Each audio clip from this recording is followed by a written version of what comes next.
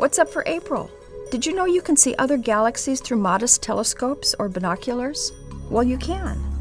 Hello and welcome. I'm Jane Houston Jones at NASA's Jet Propulsion Laboratory in Pasadena, California.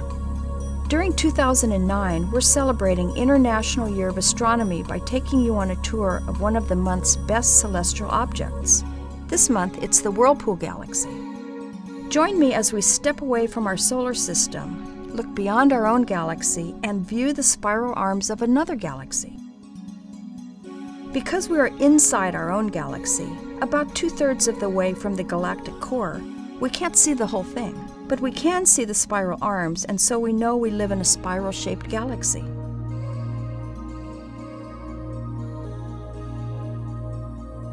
Early astronomers looked up in the night sky and saw patches of light which appeared like faraway clouds.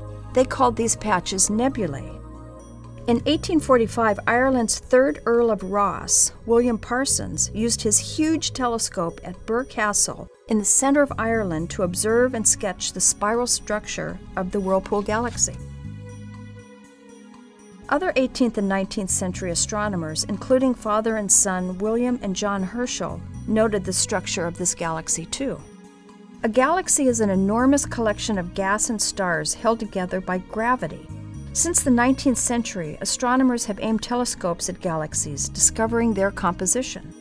In the 20th century, NASA's orbiting telescopes have looked at this amazing galaxy to see it in many portions of the electromagnetic spectrum, from radio to infrared, on to visible light, and past visible to ultraviolet, X ray, and gamma ray. NASA's Spitzer Space Telescope looks at galaxies in the infrared part of the spectrum. It can see long lanes in the spiral arms.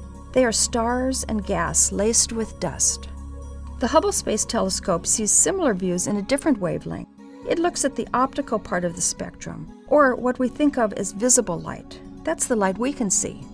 NASA's Chandra X ray Observatory reveals black holes, neutron stars, and a glow between the stars of the Whirlpool Galaxy. And last but not least, the GALEX telescope shows that hot young stars produce a lot of ultraviolet energy. Don't forget to view Saturn this month either. It's higher in the sky and easier to see. You can read all about the whirlpool and other galaxies in the distant universe this month on NASA's International Year of Astronomy website, astronomy2009.nasa.gov. And you can learn all about NASA's missions at www.nasa.gov. That's all for this month. I'm Jane Houston Jones.